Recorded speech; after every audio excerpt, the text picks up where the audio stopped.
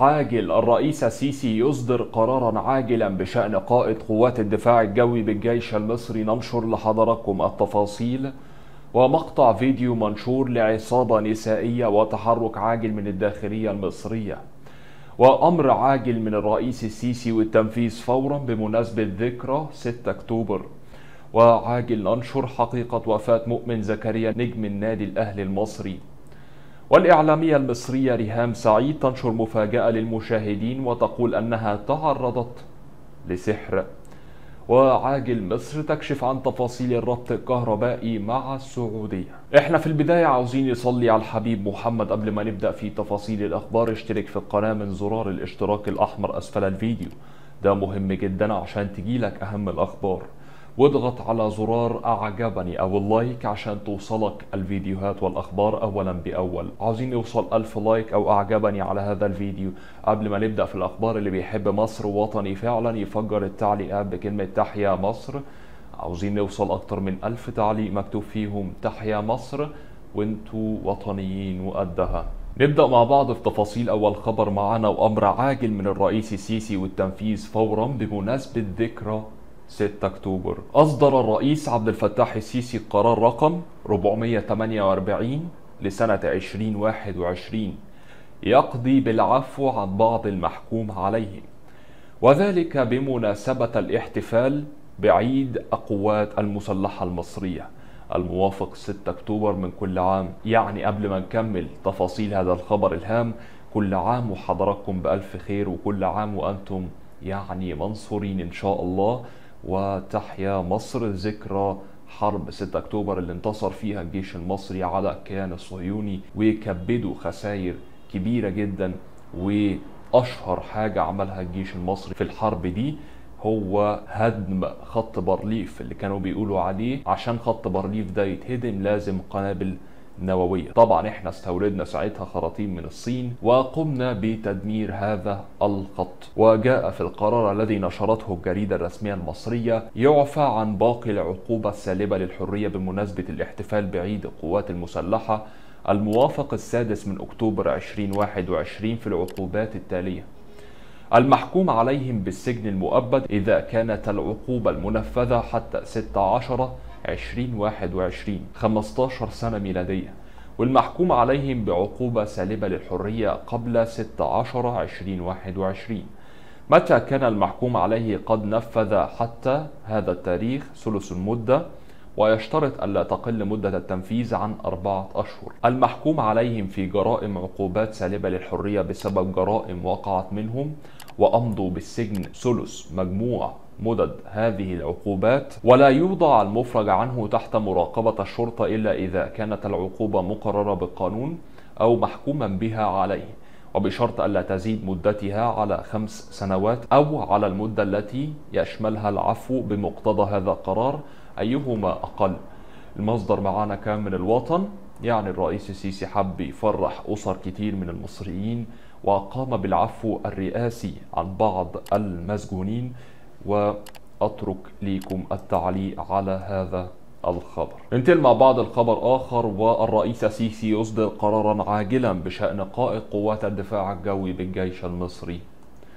أصدر الرئيس عبد الفتاح السيسي قرارا بترقية اللواء أركان حرب محمد حجازي عبد الموجود قائد قوات الدفاع الجوي إلى رتبة فريق ويعد قائد قوات الدفاع الجوي المصري من مواليد 11 نوفمبر 63 ويشغل حاليا المنصب منذ 16 ديسمبر 2020 وهو من مواليد محافظة أسيوط تخرج في كلية الدفاع الجوي في 1 يوليو 86 مصدر معانا كامل اليوم السابع. ألف مبروك لقائد قوات الدفاع الجوي الفريق محمد حجازي عبد الموجود.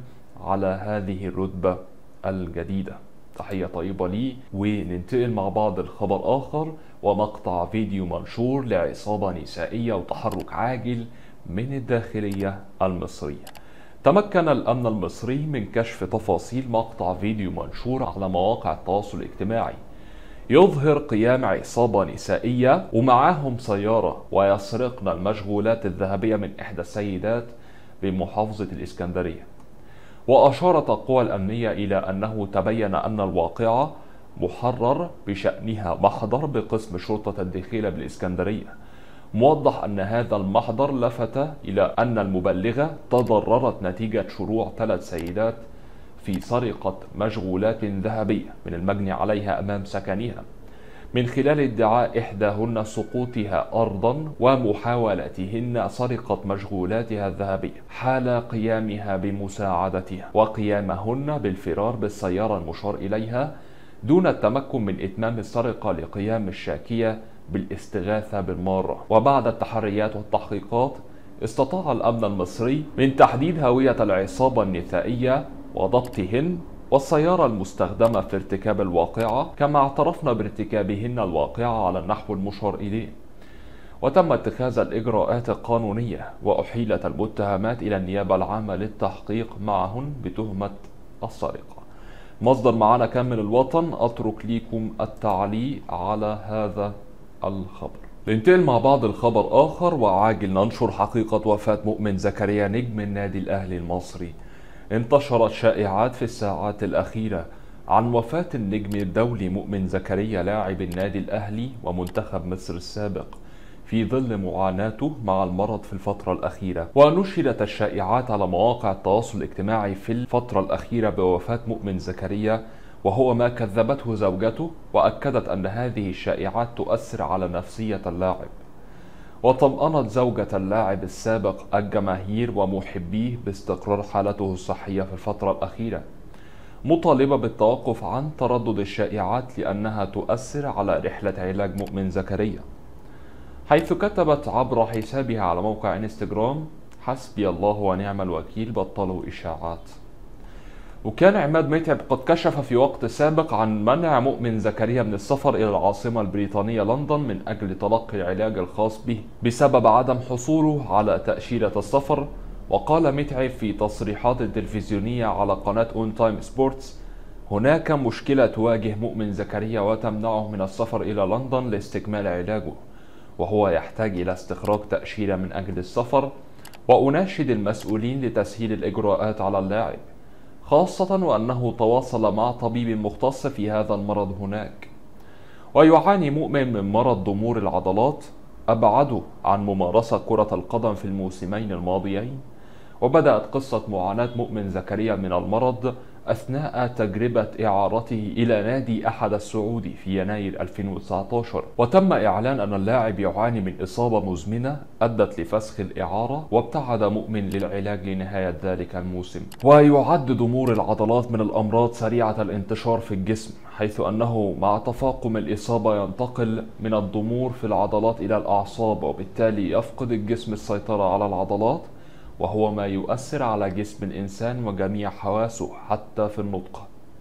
مصدر معانا كان من ار تي ربنا يشفي يا رب مؤمن زكريا ويقومه بالسلامة يا رب ويصبر أهله بإذن الله. ادعوا له لأنه شخص طيب وعظيم جدا. ننتقل مع بعض لخبر آخر والإعلامية المصرية ريهام سعيد. تنشر مفاجأة للمشاهدين وتقول أنها تعرضت لسحر. كشفت الإعلامية المصرية ريهام سعيد عن تعرضها للسحر.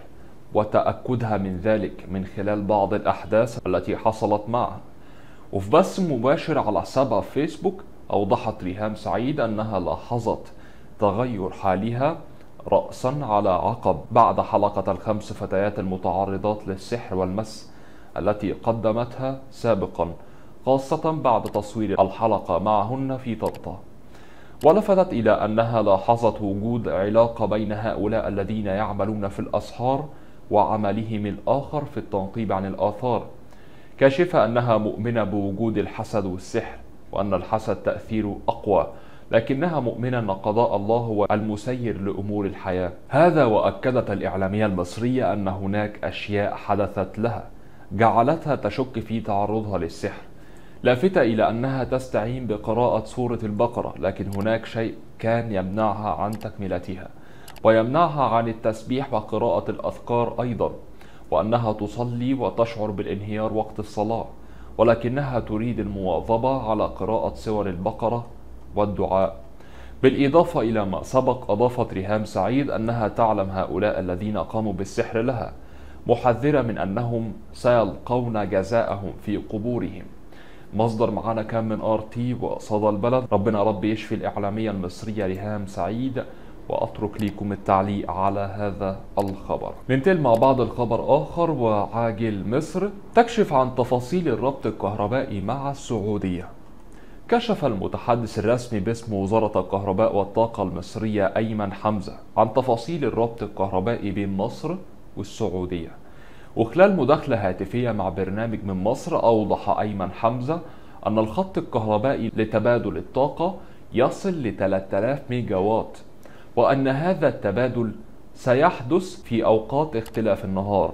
أشار إلى أن أقصى حمل في مصر يكون بعد المغرب بينما يكون وقت الذروة بالسعودية في الظهيرة.